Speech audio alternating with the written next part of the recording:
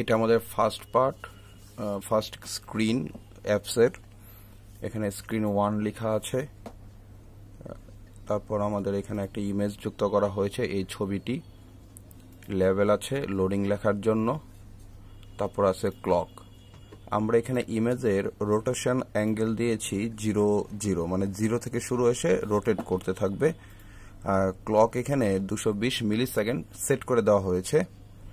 এটা ছিল আমাদের ডিজাইনের পার্ট এখন আমরা আসি কোড পার্টে এখানে সর্বপ্রথম একটি এ তিরিশ, এর ভ্যালু তিরিশ ইনিশিয়ালাইজ করে দেওয়া হয়েছে। যখন আমার স্ক্রিনটা ইনিশিয়ালাইজ হবে, তখন আমার ক্লকে টাইমটা টাইমটা এনাবল করে দেওয়া হবে। আমরা যদি একটু ব্যাকে যাই, এই যে অ্যানাবলটা আছে, এই অ্যানাবলটা এখান থেকে চালু হয়ে গেল।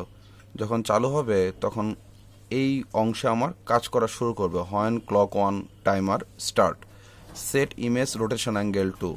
আমরা রোটেশন অ্যাঙ্গেল জিরো দিয়ে এসেছিলাম, জিরো থেকে দুশো বিশ।